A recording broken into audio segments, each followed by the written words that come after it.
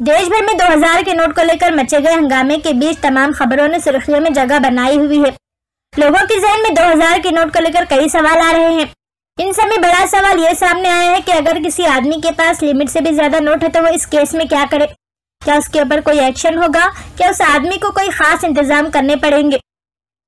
इन सारे सवालों के जवाब आरबीआई के ऑफिशियल वेबसाइट से हमने निकालने की कोशिश की।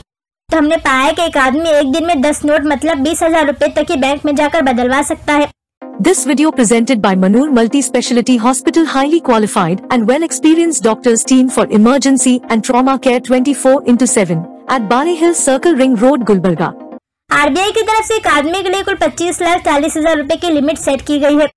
मतलब आप पच्चीस लाख चालीस हज़ार रूपए तक बिना किसी भी रुकावट के बदलवा सकते हैं। या अपने बैंक अकाउंट में जमा करवा सकते हैं। लेकिन याद रहे, अगर आपके पास 25 लाख या फिर उससे ज़्यादा पैसा है तो उसके लिए बैंक को आपको उसका सोर्स बताना होगा। बैंक को जानकारी देनी होगी कि आपके पास कितने नोट कहाँ से आए। अगर आपके पास 25 लाख से ज़्यादा रुपए हैं तो आपके पास सबसे पहले एक बैंक अकाउंट होना ज़रूरी है, जिसकी फुल केवाईसी होनी चाहिए। आपने इनकम सोर्स के साथ साथ बैंक द्वारा मांगे जाने वाले सभी डॉक्यूमेंट्स बैंक को देने होंगे। जिन लोगों के पास बैंक में अकाउंट नहीं है, वो लोग 26 लाख से ज़्यादा की रकम नहीं बदल पाएँगे।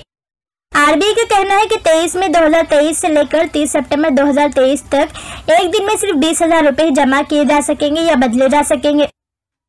आम लोगों को 2000 के नोट जमा करने बदलने के लिए सिर्फ़ एक सौ सत्ताईस दिन मिलेंगे।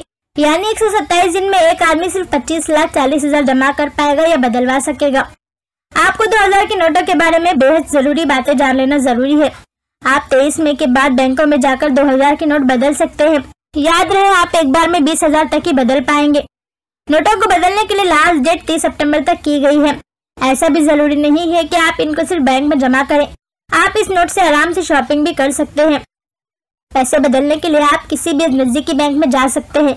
अगर आपको नोटों से जुड़ी कोई जानकारी चाहिए तो सीधे बैंक में जाकर जानकारी ले सकते हैं। इंटरनेट पर किसी भी नंबर पर फ़ोन कर जानकारी लेने से सावधान रहें। किसी को भी अपने अकाउंट की जानकारी ना दें। सतर्क रहकर काम करें और जो गलतियाँ आपने नोटबंदी के दौरान की हैं, उनसे बचें। अगर आपके पास ज़्यादा बड़ी तादाद में 2000 के नोट है तो आपको उस पैसे की जानकारी बैंक के साथ शेयर करनी पड़ सकती है।